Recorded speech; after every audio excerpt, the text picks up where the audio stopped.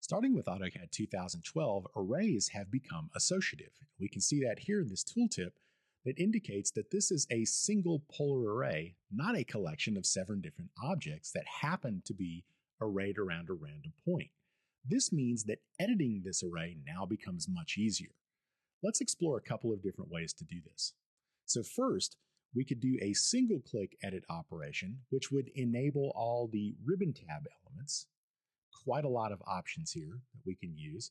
For now, let's just focus on the basic things like the number of items, degrees to fill, those types of parameters. That would be very easy to modify using the ribbon interface using this sort of methodology. And we see as this happens, the preview here in screen updates. So that's a straightforward way to edit, and we can go ahead and close out the array operation, and that will be changed.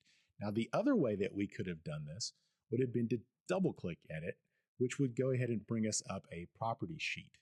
So this would give you the basic parameters. You're not getting all the uh, bevy of options that are available through the ribbon interface.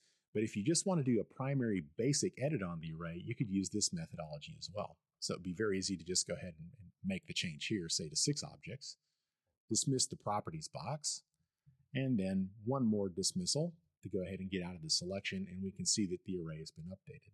So basic updating of the preformed array is very easy to do and the magic that makes that happen is the associative nature of the arrays.